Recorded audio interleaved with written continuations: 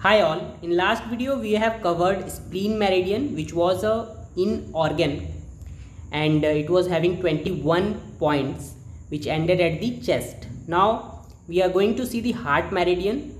Uh, spleen meridian connects with the heart meridian which goes up to our little finger tip. So we are going to see this. It is also a yin organ and it's having total 9 points in it. See the meridian how it flows.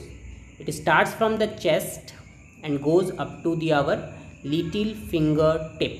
Okay so it have total 9 points. We are going to see the 9 points now. We have total 9 points.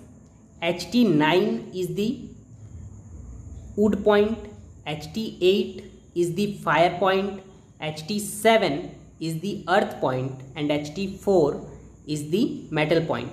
Ht3 is the water point in the heart meridian. Repeating once again, HT9 is the wood point, HT8 is the fire, HT7 earth, HT4 is the metal and HT3 is the water point. So in this way we have five element points in the heart meridian. Heart is the fire organ means heat is the correspondence.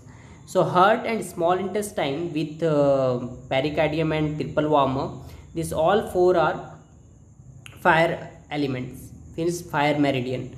So fire point will be the own point of these meridians. That means here ht8 is the own point of heart meridian. Thank you